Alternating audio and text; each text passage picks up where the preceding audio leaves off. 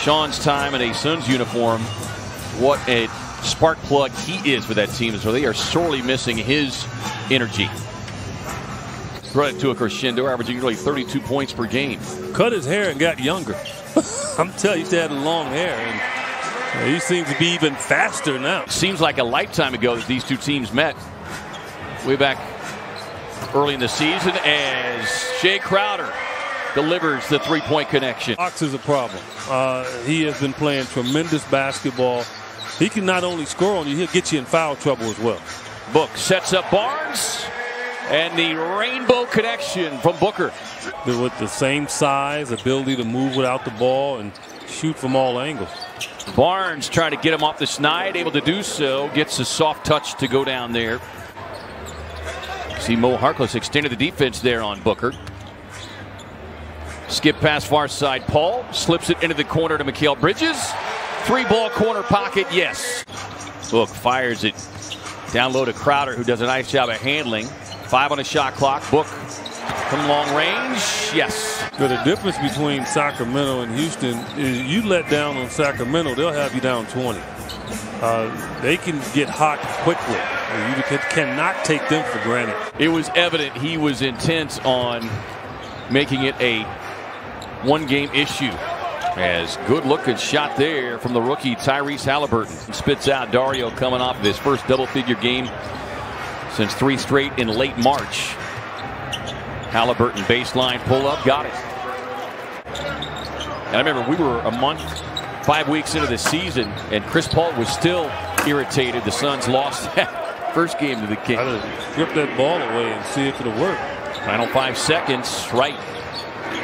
Trying to do this one on his own and does so successfully. Keeping the Kings off the line, only two attempts for them. Chris Paul out on the floor with Jevon Carter, Cam Johnson, Torrey Craig, Dario Saric, Jevon Carter. Baseline pull up.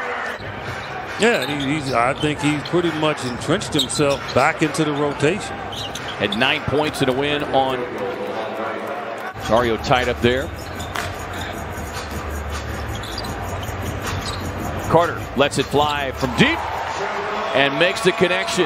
Last five games, he's better than 44%. Yeah, he's like, look at me now. Don't look at me back then. Right. Tough runner for Fox. Dario stays with it.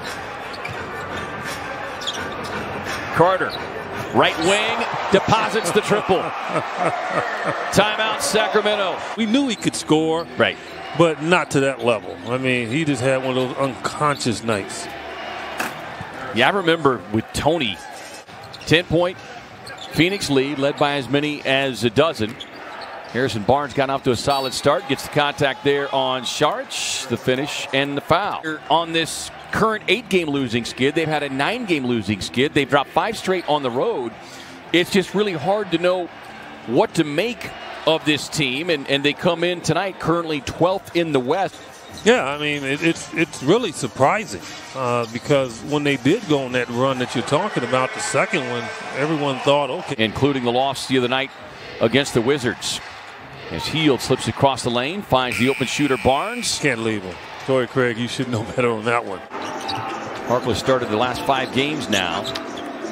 Had just two in the loss the other night as DA quick put back over Harkless. Phoenix possession. Book off the inbound. I love not a bounce play that works, man.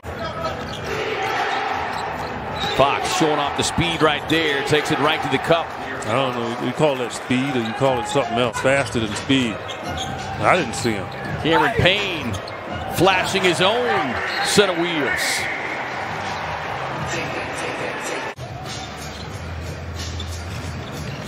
Continues to carve his way up in the standings. Nice angle pass there from Cameron Payne. San Antonio, Golden State, when they were in the midst of their hot streak, is Cameron Payne puts the left hand out in front of Whiteside like bait and runs it right up off the window. Still, NBA teams aren't used to playing zone. The Kings went into a little zone and can't. Have caught fire. Wright has played well off the bench as well. And another indicator as he's got a dozen. King shot 72% in that second quarter as CP3 sets it up top. DA time to eat. Sun shot 62% in the half, better than 52% from deep. But this guy, after missing his first five, has caught fire. You talk about the old home feeling. Luke Walton may have maybe see if he catch lightning in a bottle with Damian Jones, who just signed earlier in the week, as Book knocks down the little 12-footer. Jones had five points, four rebounds in that lost Wednesday. He signed a couple of 10-day deals with the Lakers, and just sitting there and the guy trips on you. Just because my fault. feet happen to be bigger than yeah. his. I mean, boy, tough finish there from De'Aaron Fox. Mm-hmm. Well, and he's learning to get him open. Mean, that's the beautiful part. Of the big guy, if you set a good screen, more chance than more times than not, you're going to get the ball and run the guy off of you instead of you trying to lean one way or another to pick him off and pick up a foul. Well, that's the thing, and I know you talk about this so often, but in that screen game is Hield hits a high arching corner, throws it out to the open shooter Crowder. DA keeps it alive. Great hustle from the big man. A rocket pass from Chris Paul inside to Bridges for an easy two. Because he has been an issue for teams in the fourth quarter.